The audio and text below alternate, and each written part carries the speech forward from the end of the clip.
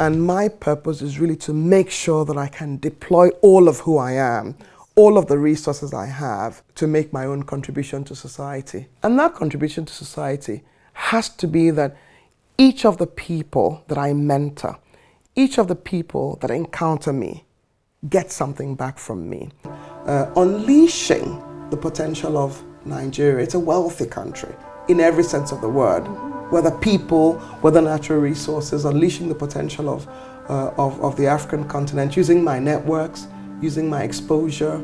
Arunma Oteh served as the first African and black person to occupy the position of treasurer at the World Bank from September the 30th, 2015 to November the 30th in 2018. As treasurer, she led a team that managed assets totaling to 200 billion US dollars for the World Bank Group, 60 central banks, sovereign wealth funds, and other official institutions. She was also responsible for an extensive financial advisory business for the World Bank's clients and cash flows of over $7 trillion. So how did this young girl from Nigeria rise to such impressive heights? I also think that early foundations are very critical. Uh, and, and if there's any success I've had um, up till today, it really comes from uh, the upbringing that my mother and father uh, gave me. Uh, I always say that I got the best of both worlds. I had tough love from my father and I had tender love uh, from my mother. Uh, and uh, I've shared uh, this story uh, previously around um, really wanting to make sure that my dad was happy with my grades. And when I finally was top of my class, I was so excited and I went to him and I said, Dad, I finally made it. And he's like, what about first plus plus? I'm like, Dad, what is first plus plus? Um, my mother, on the other hand, you know, would um, work with me on my uh, homework. Uh, she'd listen to me, wanting to understand my day. I'd go shopping uh, with her. Um, she um, uh, she knew that I loved reading, so I'd go shopping with her, and she'd have me go to the book section. Uh, and I'd always wanted to say to her, "Oh, Mom, I finished reading this book," and she's like, "Okay, but we need to buy you a book to take home."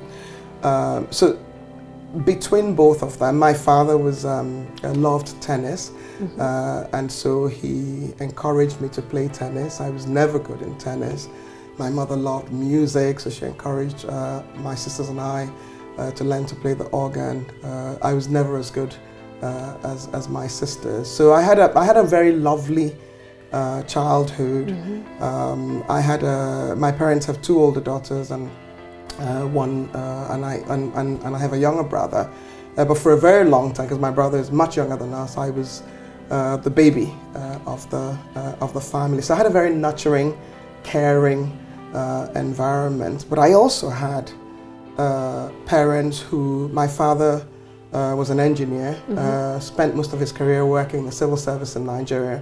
My mother was a nurse and spent most of her career uh, working uh, in government hospitals, so caring for people. Uh, they had a life of service. Uh, integrity was big. I mean, my father uh, would, you, you could not tell a lie, uh, you know, you, you, did, you didn't do anything that was mm -hmm. wrong in our home. and my parents made sure we understood the value uh, of being someone of the highest integrity. I mean, mm. many years later, I tell people that, you know, if my father was the only person doing the right thing, he felt comfortable doing the right thing. So, yeah. lessons in courage, lessons in standing alone if, um, if need be, uh, were things that I learned very early on uh, in my career. And of course, excellence. Mm -hmm. You know, that whole story around uh, my father saying, oh, but what about first plus plus? Uh, for me, I think has always been what's driven me to try and do the best that I can mm -hmm. with whatever opportunity uh, that I've been given. I find that um, when you describe your background with your parents, you have such a close-knit family unit and that would have a huge influence on what you are like as a young woman. What did you find at a early age that that closeness that you had with your family would do to influence your future goals as young Arunma? What is fascinating is that I, I, I feel that even though I wanted so much uh, for my parents to feel that I've become like one of them, Uh, my mother was a nurse, she wanted me to be a medical doctor. My father was an engineer, he wanted me to be an engineer.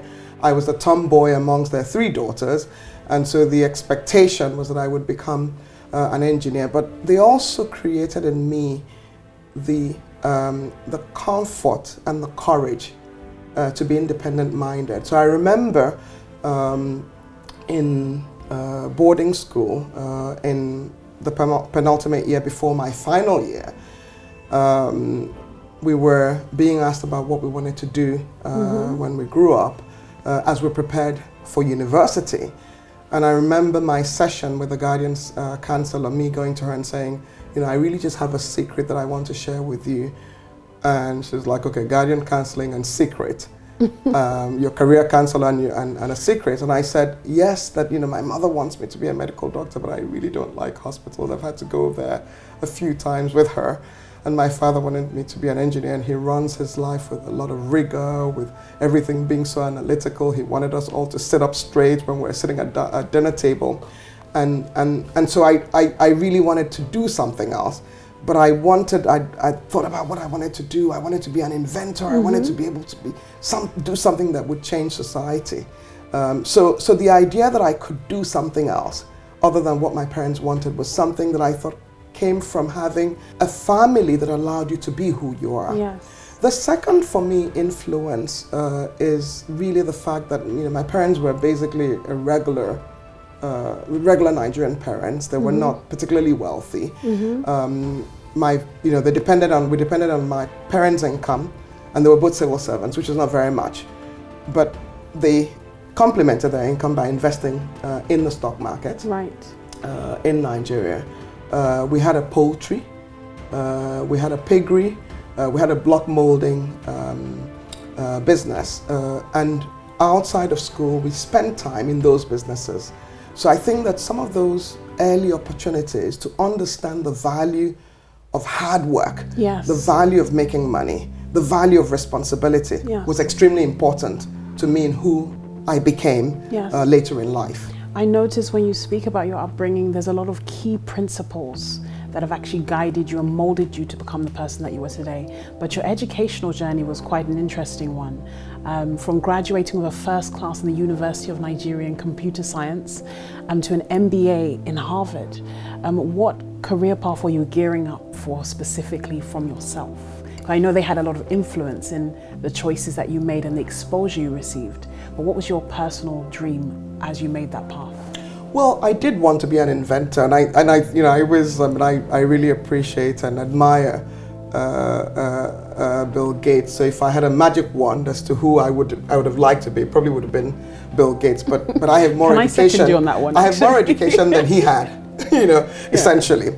Um, but, but, but on a serious note, I, I, I did, I did want to be an inventor. Mm -hmm. and when I had that discussion with the career counselor, um, in boarding school. Uh, we went through various um, options. We talked about being a scientist, maybe a biologist, and I thought, no, no, no, type thing. And when we went through what computer science could be, I thought fascinating. It was new, uh, you know, it was uh, late 70s. Um, so I thought, oh, this is exactly what I want to be, and this will absolutely helped me become uh, an inventor, uh, and I'm still trying to decide whether I've invented things or not. You speak of your journey. There's yes. a lot of moving about within the institution. Was that strategic, or what was the um, goal with the different positions you constantly took?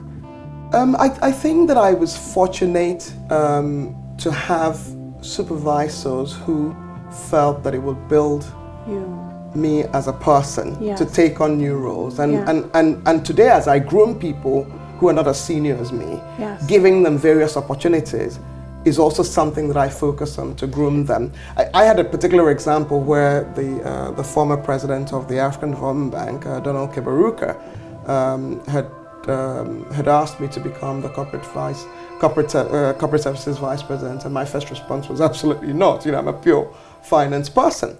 But when I look back, what prepared me the most for my role as the head of the Securities and Exchange Commission of Nigeria mm -hmm. was actually my role as the head of corporate services mm -hmm. at the African mm -hmm. Development Bank because I knew firsthand the various issues around managing people, around what helps the brand of an organization in terms of its administration, Yes. in terms of its in- information technology, and that it's obviously all about the quality of people that you had. A pure finance career, I mean, I, I had responsibility, um, but I would not have had some of the opportunities I had to hone some of my skills in leadership without that opportunity.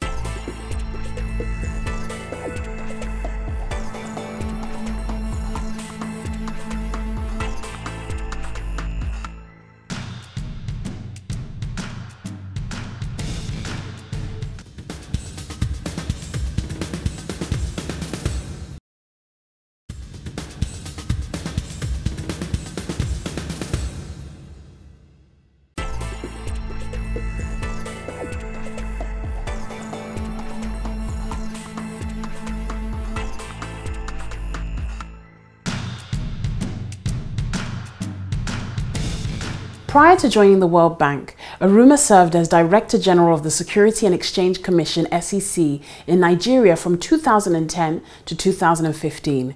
During this period, she rebuilt the Nigerian capital markets after the global financial crisis and served on Nigeria's economic management team. Um, for me, when I follow your career, one of the biggest highlights for me, I would say, is your time as Director General um, of the SEC. Now, you faced very challenging circumstances there and trying to salvage the Nigerian capital markets. I mean, describe what the atmosphere was like at that time. Well, first and foremost, um, if you remember, uh, uh, I joined the SEC Nigeria, the Security and Exchange Commission Nigeria, in January of 2010. And this was just after the global financial crisis. Yes. So there were issues around the financial system globally. But there were also specific issues around Nigeria. There had been uh, various forms of market abuses. People had lost their life savings. A lot of retail investors had lost their li- life savings uh, in the stock market in Nigeria. The market had gone down by 70%. Um, people felt that the regulator had been sleeping on the wheel. Um, the Nigerian Stock Exchange was literally bankrupt at that time. Uh, market participants, you know, you had different kinds of market participants. You had the good ones and you had the fraudulent ones. And everybody was really looking for somebody uh, who would bring leadership Yes. and move an agenda forward that will transform, start to focus on transforming the Nigerian capital markets uh, into world class. Uh, so my perception of what I was walking into was a rescue mission. Right. Um, and um, my perception was that people weren't quite sure how this would go. Yeah. Um, and so I came in thinking we need an agenda. And that agenda has to be one that starts with what is the most important thing in any capital market, which is that investors feel comfortable investing in that market. But that agenda also has to have very clear elements, including a strong enforcement regime, mm-hmm. which is that if you do wrong, that we will make sure that you pay the price of doing wrong. Mm-hmm. So that people who do wrong feel that they will be penalized, and people who do right feel that they will gain the benefits of mm-hmm. doing right. Um, when you when you actually recount your journey and the different agendas that you were trying to meet, um, you faced some pretty stiff resistance, even though you articulated in such a simple way. Um, as a woman in a male-dominated world like the capital markets, how did you stand your ground against all the backlash that ensued? Um, you know, I, I, and forgive me, I always start with my parents. Uh, You know, the my father's um, emphasis on excellence Yes. has always been a guiding principle for me. Uh, and so when people say, "Oh, you know, how do you cope in a male-dominated environment? How do you cope as a minority?" My issue is that excellence is the tool that you have, the weapon that you have to be able to conquer a bias. Uh, and over time, people will understand the value that you bring. The second is, of course, the capital markets are absolutely markets where people can feel the difference in their pocketbook. So, yeah. the other weapon, in my view, that I had uh, was actually the average Nigerian. I was fascinated that as the years went by, people would come up to me and say, Oh, thank you for what you and your team are doing.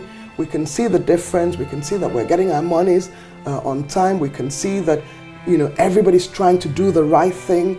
Uh, we can see that the market is being restored.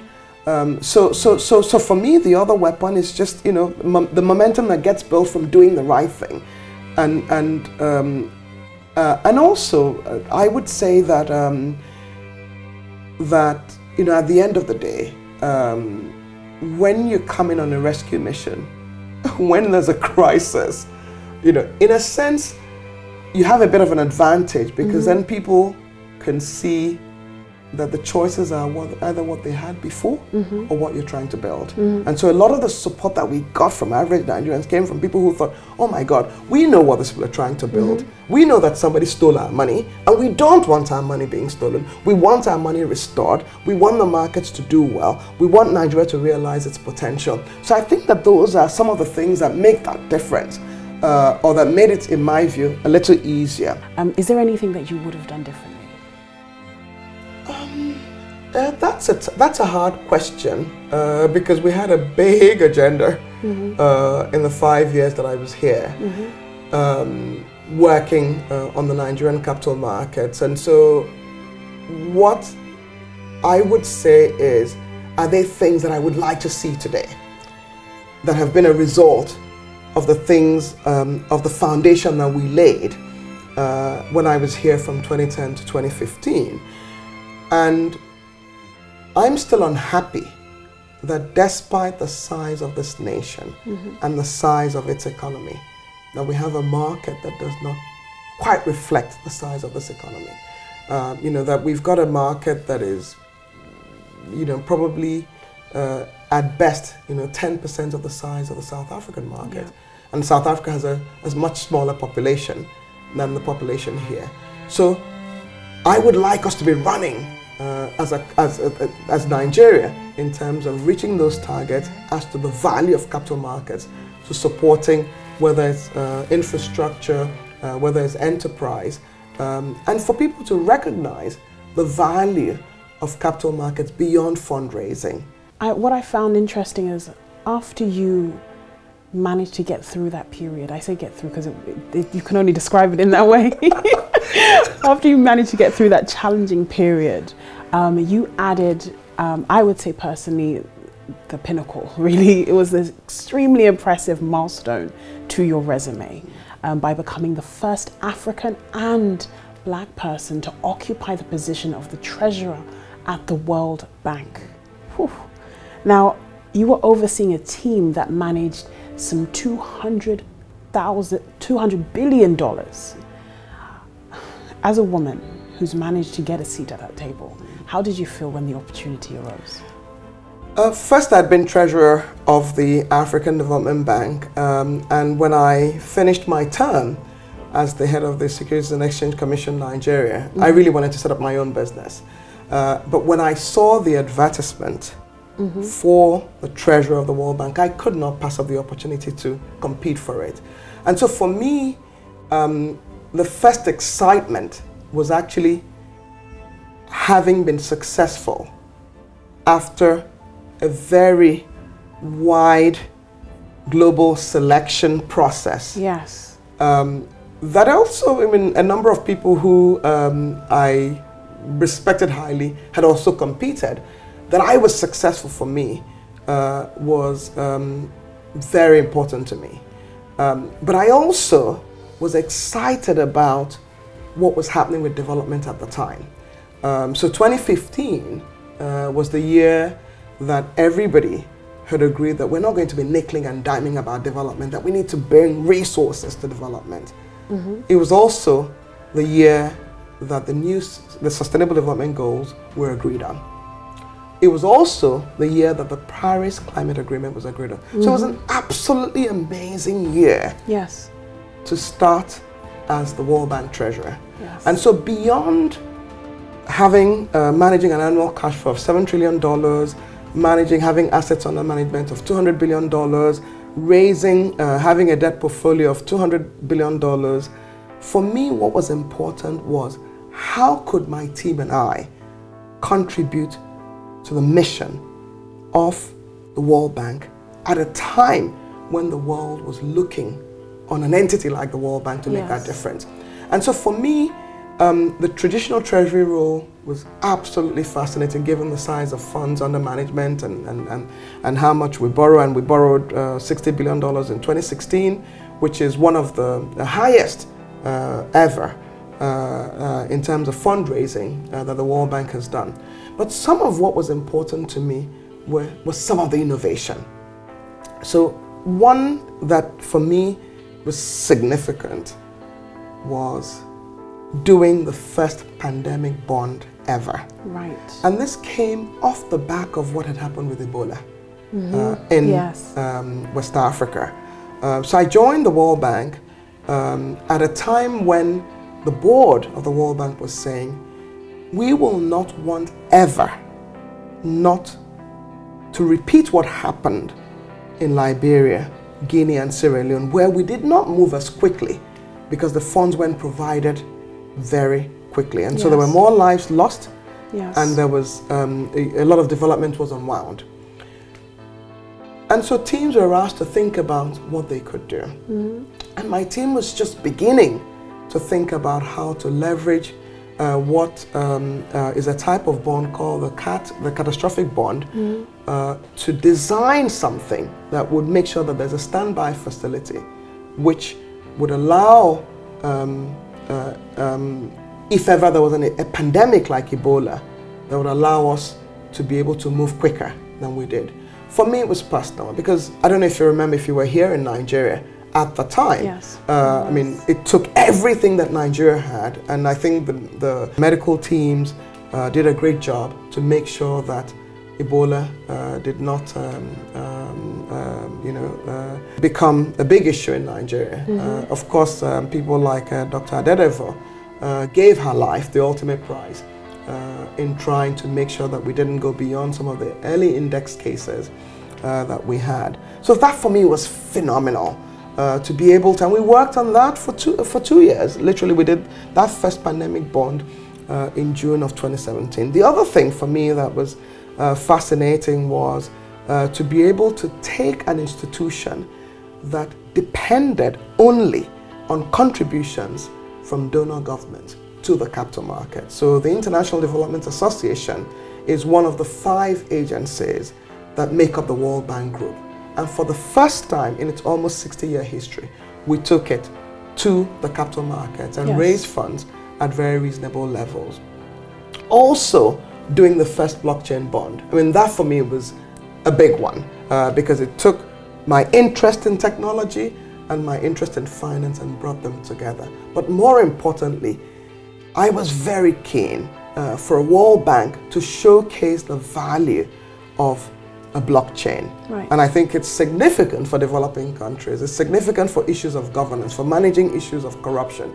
So to be able to bring innovation, to be able to leverage the capital markets for the mission uh, of, um, uh, uh, of the World Bank was for me the big gift in Yes. addition to uh, being uh, one of, uh, I mean, uh, my successors, the 13th treasurer, one of the 13 people to date Yeah. uh, that have run the World Bank Treasury. When you look at your entire career journey, impact has been a constant reoccurring point for you.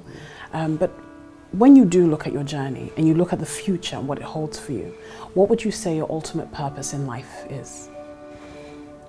My starting point uh, in response to your question is really to go back to what my father always told my siblings and I that to whom much is given, much is expected. Yes. And um, I was fortunate to have an amazing upbringing. I have had a great education. Yes. I have had a wealth of experience that spans the world. Yes. Um, I have exposure uh, to different sectors um, of an economy. And my purpose is really to make sure that I can deploy all of who I am, Yes. all of the resources I have to make my own contribution to society. And that contribution to society has to be that each of the people that I mentor, each of the people that encounter me, get something back from me. It has to be that where I come from, that Tim gets to feel that I'm giving back something to it because that's where I come from. Yes. Uh, and so a lot of my charity work has been focused on providing medical um, medical support, providing scholarships, mm-hmm. uh, helping with um, with a sports arena, and I hope that I will continue to be able to have resources to be able to do more around Nigeria. I think helping Nigeria realize its potential mm. uh, for me is also something uh, that I would expect to focus on. Uh, unleashing the potential of Nigeria. It's a wealthy country in every sense of the word, mm-hmm. Whether people, whether natural resources, unleashing the potential of, uh, of, of, the African continent, using my networks, using my exposure, uh, being available, uh, being there for my family so yes. I can hand the baton on uh, in the way that my parent, parents handed the baton on to me. So really just, you know, I mean, I, when, you know, when, when I think of your question, I think, my God, what do I want people to say uh, at my funeral? I want them to say, oh my God, she really contributing to making, she really contributed to making the society a better society. Arunma Oteh is an imposing figure in the world of finance and capital markets. Her journey is laced with unprecedented highs and remarkable impact in a career that has consistently pushed the narrative of women in all spheres of the economy. Something she has done so well so often against very remarkable odds. Excellence is the tool that you have, the weapon that you have to be able to conquer a bias. Uh, and over time, people will understand the value that you bring